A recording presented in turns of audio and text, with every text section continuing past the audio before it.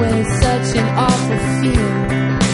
I cut off my hands, caused my deeds to. Bueno, contá un poco sobre esta actividad para los chicos y las chicas del hockey.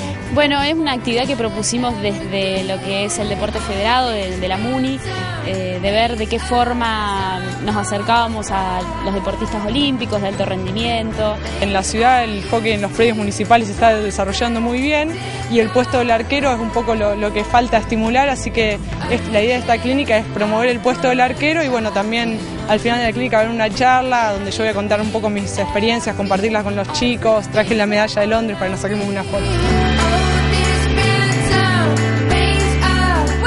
Cuéntenme, las veo muy contenta con esta posibilidad.